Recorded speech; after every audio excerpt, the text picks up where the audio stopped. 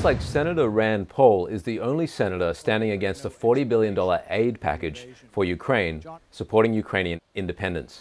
Yes, we all support Ukrainian independence. The question is at what cost? Since we now understand that Ukrainian independence is a function of what the United States is providing Ukrainians, the question is how much will Americans be expected to pay, for how long, and how finally will this help Americans, especially at a time of financial distress here in the United States?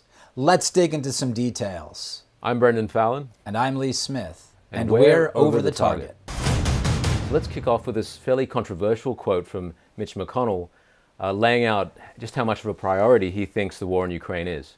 I think we all agree the most important thing going on in the world right now is the war in Ukraine. Yes, we all agree. He's, spe- he's speaking, it, it appears, about um, 99 senators, not including Rand Paul. He's uh, speaking about uh, the vast majority of the House of Representatives, presumably speaking about a lot of Washington as well, from policy analysts to lobbyists to defense contractors. However, once you get outside the Beltway, in the vast heartland of the United States. You see, there are a number of other priorities that people have, whether you're the, the, parent of an infant or a toddler, and there's a baby formula crisis. Maybe you're a commuter and you have to go to work and you've noticed that gas prices are soaring. Or maybe you're a homemaker and you're shopping for food to feed your family and you've noticed that food prices are also soaring. So the idea that Mitch McConnell, while speaking for establishment Washington, is saying we all agree that the war in Ukraine is the most important thing right now, it's not only tin eared, it's preposterous, but it gives us an important picture onto how uh, our policymakers, even our senior most policymakers, understand their business oftentimes is in opposition to how the rest of Americans live their lives. The idea that America would put a lot of money into this war effort. This isn't an isolated circumstance. Uh, you were saying before, Lee, yeah. this isn't the first time in, in recent years, in America's recent history, that America has poured a lot of money into a, a, a war effort uh, on foreign soil. Well, absolutely. I mean, if we look at what happened in Afghanistan, we look at, you know, people remember now Joe Biden's disastrous withdrawal from Afghanistan. Biden had one thing right, however, and the thing he had right was to get out of Afghanistan.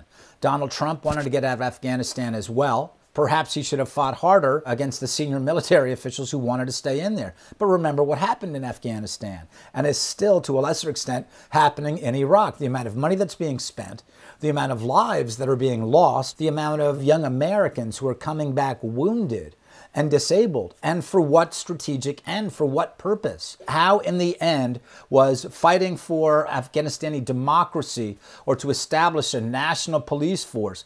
How did this assist the American interest? Right? This is like, well, they the the Taliban might come to the United States and um, decide to wage terror operations against Americans. How about this? You can check their visas.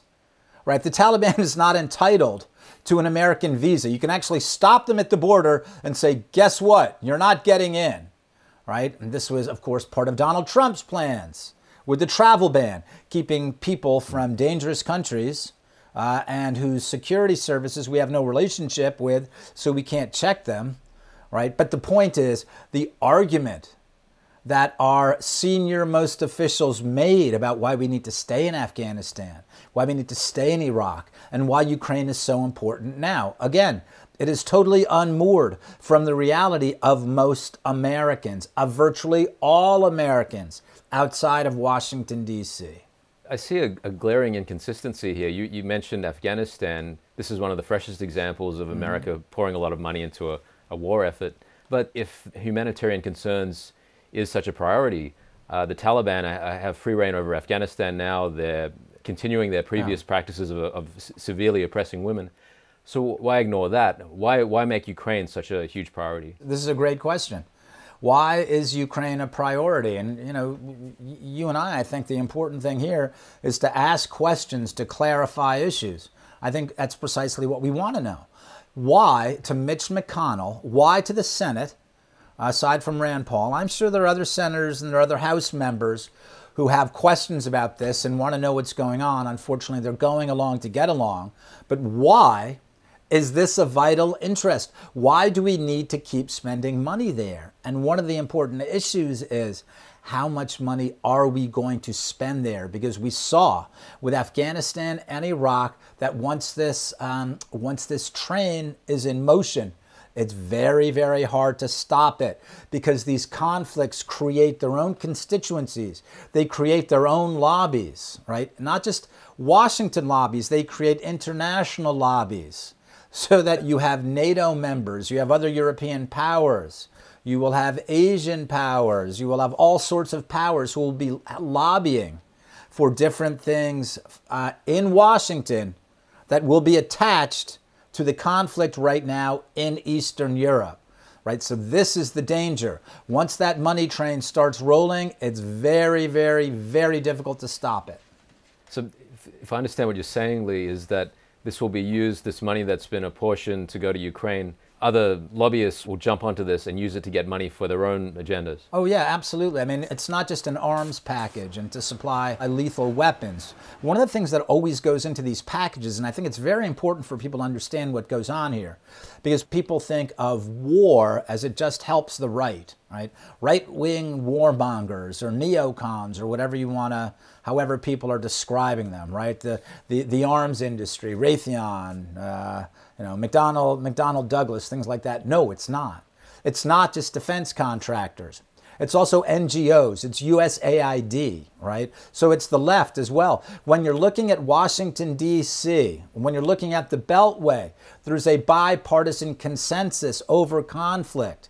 Because what conflict does is it, it, it, it brings in a whole bunch of money, but not just for defense contractors, because the State Department is always going to go in there right? And and seek aid from USAID. If you want to know, if you want to look at Washington D.C., which is always voting Democratic, uh, this is an enormous constituency for all of that money that is flowing through the system, right? These are aid workers. These are people who are going to help build um, stronger more efficient parliaments, or they're going to work on women's studies programs or gender studies programs or you know whatever you want to call it, but that's how the operation works. It's right and left that are going to be gaining from this conflict, right and left in Washington that is. One term that I've heard coming through in the, the discussion around this is stalemate. It, this mm. is being used to describe the, the current status of the Russia Ukraine conflict. And I, I think it, it, also reminds me of the status that was often used to describe the situation in Afghanistan. Yeah. I think we could just listen to this quote from the director of the Defense Intelligence Agency here. Are we reading it now? They have the ability to win if we continue to support without us being pulled into a land war with them on their own. Can they win? I, th- I think that is a uh, that is a difficult uh, prediction to make. Uh, right now, I think where where the agency is at is a, is a, is a prolonged stalemate. Should should no factor change uh, on either side. In other words, the Russians continue to do what they're doing, and we we continue to do what we're doing for the Ukrainians. I, I see that as a stalemate, not, not necessarily. Haynes, There's something about the way that he says this, and it, it could just be my imagination, but it's it's almost as if it's a it's a desirable outcome. It's it's almost like he, he talks about this is what the Russians are doing, this is what the U.S. is doing uh, to achieve basically yeah. achieve a stalemate. Is a stalemate a, a desirable outcome? Well, I mean, there are certainly times when a stalemate is a desirable outcome, except there are a couple of different factors here. The first factor is does the United States want to be playing for a stalemate on Russia's borders? Remember, geopolitics um, is a combination of two different words, right? Geography and politics. If we look at the map, we see that Ukraine is on Russia's border. This is very different from funding a, a proxy war, as, as often happened during the, uh, during the Cold War, funding a proxy war in Africa, right? funding a proxy war on Russia's borders is a very, very different issue. So, is that really what we want? We want to be paying for a stalemate on Russia's borders because it's not clear that Russia can afford a stalemate on its borders. At what point does Russia tip over the table and say, okay, enough of the stalemate? We have to go to the wall here and we have to make sure there's not a stalemate because it's our border. Our people live here. We're not content with a stalemate. We're not going to live um, hemmed in by proxies funded by the United States. So that's one issue. If you want to see the full 20 minute version of this Over the Target episode, you can find Lee and I on Epoch TV, where we don't run the risk of being censored or cancelled. Join us at Epoch TV, where you'll find Over the Target and all of your other favorite Epoch TV shows.